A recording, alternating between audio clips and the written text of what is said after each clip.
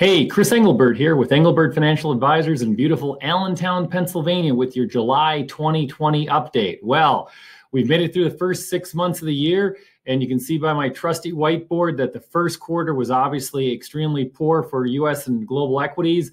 Uh, in fact, the S&P 500 was down sharply in the first quarter, uh, and that was followed by an extremely sharp rebound in the second quarter. Uh, the last six months, I hope I never see a six-month period like that ever again. Uh, you can see by my whiteboard that the S&P 500 is still down for the year, uh, minus 4.96%. The NASDAQ, uh, the tech-heavy NASDAQ, is actually positive for the year.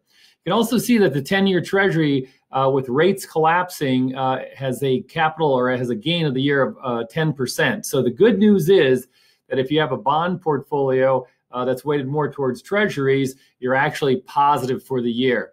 So currently, our risk indicators are neutral at this particular time. About three weeks ago, they were overbought, uh, and we've seen the market churn around. Uh, believe it or not, my outlook for the rest of the summer is that things could get very, very quiet.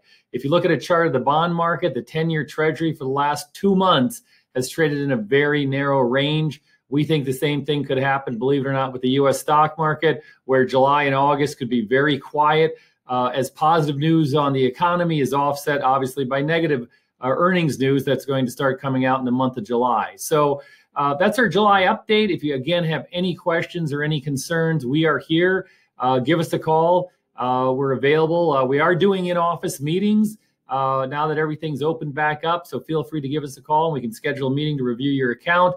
Uh, and also, just wanted to wish everybody a very happy 4th of July. don't eat too many hot dogs. So have a great July 4th weekend and look for our next update next month.